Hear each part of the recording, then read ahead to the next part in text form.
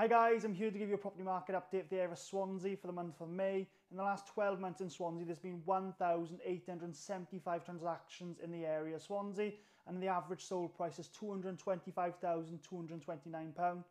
Out of those properties, or the most popular type of property bought was terrace properties, where there were 667 terrace properties sold for an average price of £162,299.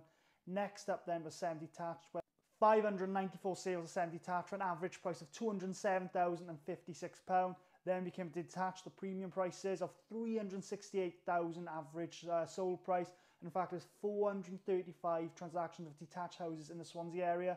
Then flats. So there was 146 flats sold in the area for an average price of £142,920. The most recent sale in uh, Swansea was in Sketty and Baytree Avenue. It's a three-bedroom mid-terrace property sold at Dawson's estate agents for 185000 uh, in January 2023.